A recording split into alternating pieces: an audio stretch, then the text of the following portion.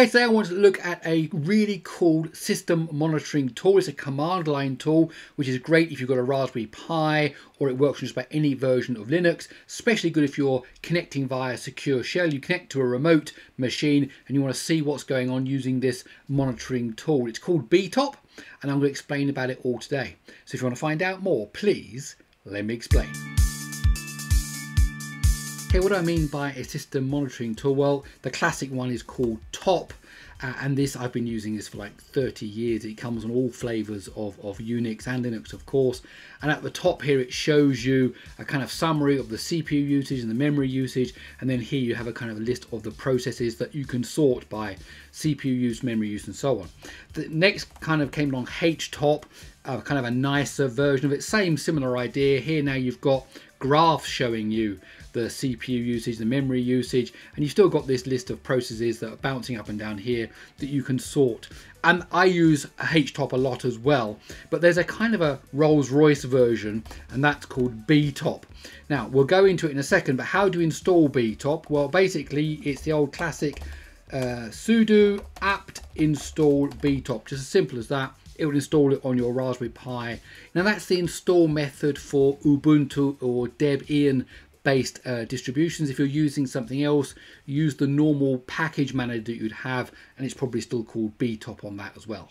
Okay, to launch it, you just type btop, and you're now presented with a similar idea. You've got the different resources that are being used on your system shown here uh, in a kind of a fancy uh, display. Now at the top here you've got the CPU usage. You can see not much going on because I'm not doing anything on my Raspberry Pi at the moment. So this is very low. And over here on the right you can see C0, C1, C2, C3. That's all the different uh, CPU cores uh, and they're all at 0% at the moment. Here you've got the memory over on the left, you've got the disks, down at the bottom left you've got the uh, network, and then you've got this list of processes similar to top uh, and HTOP. Now, let me try something. I'll start running something and you can see how it affects this display. So I'm going to run a tool, my thread test tool. You can find the source code for it in my GitHub repository that stresses the CPU. I'm going to do it on two cores first of all. Let me just kick that off. Okay, so that's now running and we can see here now that this CPU usage has started to be going up. You can see it says it's 50% usage. Why 50%? Because it's using two of the four cores, so that's 50%. And you can see the cores showing here 100% usage.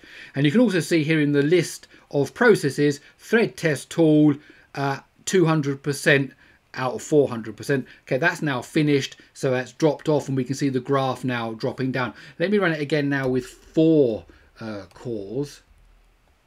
Okay, and then we'll see a greater bump up here. Here we go, right up there, bump up, 100% CPU usage, uh, across all of the cores. You can see here 400% over in this list of uh, programs that are running. So there you go. So that's how you can see the CPU uh, running and how it comes up on your display. So if you see something is taking up a, a lot of uh, CPU time, you can say, well, what's that running? What is a, has a process gone crazy? Has my email server gone crazy? Has my database server gone crazy? You know, whatever. What what's gone wrong? And you can start to have a look at that there. But of course, that's just CPU. There's more to a system than that. So let's look at memory. If I was to run a large language model, that's going to load a lot of stuff up into memory, and we're going to see the memory usage increase. Let me just try that. Uh, uh, run. Okay, so what we'll see over here now in the memory usage, we should see that go up. Now we can make that disks thing go away by pressing D. That will make the disk go away. And we can see here now that the used memory is going up. And we can see here it's now at 4.7 gigabytes. The available memory has gone down. Okay, and then that memory model is actually loaded. And if you look over here on the processes, you can see there's 2.8 gigs being used by, by Ollama So that's exactly what we would expect. Okay, let me just stop that. And uh, that should then free up all that memory. Let's see. Okay. Yep, there we go. That's now gone up to 7.3 gigabytes and the memory uh, usage has gone right back down again. And you can see that chunk of memory there that was being used has been freed up. And we're back to normal memory usage. Now, if you press D again, the disks uh, will will come back. Now let's say I wanted I was copying some files or something like that. What how does that show on the on the disk IO? Well, first of all, we can see here that the look at two gigs is being written uh, read and write to here. If you press I, you'll actually get a, a better graph of read versus write. So you can see that happening here. Up and down really is what it's showing there. Read write, writing to the disk, reading from the disk. And so you can see there's the, the activity going on there. So again, a good way of saying, well, what's going on? Why is there so much activity? Why is my system feeling slow? You can just actually go in there and see what's happening. The same also true for networking. Let's actually download a new LLM, which is going to be, you know, several gigabytes.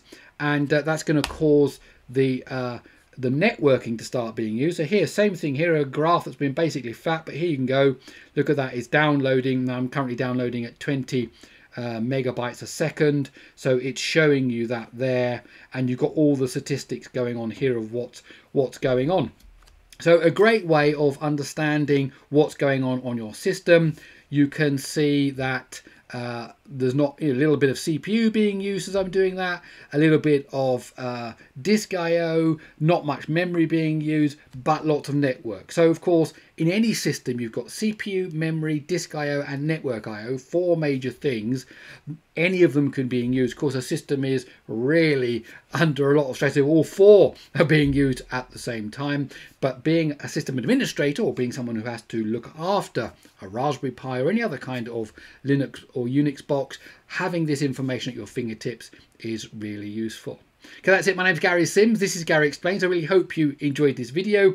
If you did, please do give it a thumbs up. And if you like these kind of videos, then I invite you to stick around, subscribe to the channel. Okay, that's it. I'll see you in the next one.